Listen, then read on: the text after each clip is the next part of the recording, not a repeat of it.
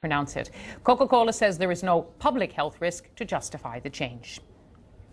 One of the major social changes brought about by the 60s was the use of illicit drugs, especially marijuana and LSD. It... Well, there you go. Psychedelia became linked with the counterculture movement, youth, rebellion, rock and roll, and hallucinogenic drugs. Now, researchers at a Norwegian university have looked back at early medical trials of LSD and found evidence it could be used to treat alcoholism. Let's get more details. We're joined from Trondheim in, Normandy by, in Norway by Teri Krebs, who co-authored the study, a researcher at the Norwegian University of Science and Technology. Welcome to BBC World News. Yes, hi. Good to talk to you. How could LSD help in, with the treatment of alcoholism? What is it in LSD that could help? Well, let me tell you what we did in the study. We looked for all of the well-designed randomized controlled trials of LSD for alcoholism. We found six trials, 536 patients, who each, each patient either got LSD or a control treatment. We pool all the data together. There's a clear and consistent effect on alcohol misuse and on abstinence.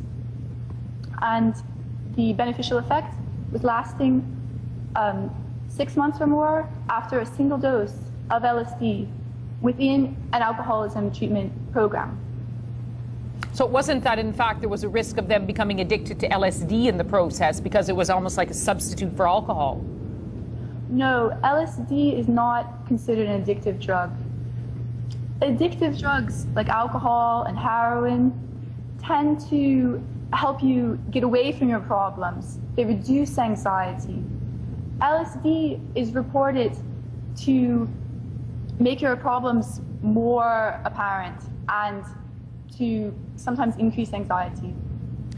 And it is helping people to think about their problems, to have a new perspective, and to try to find new, new patterns of behavior, new, new and new insights. And what was reported in the clinical trials is that patients found more motivation to participate in alcoholism treatment program and that um, that, that they found a, um, more um, insights into why were they why did they keep returning to alcohol.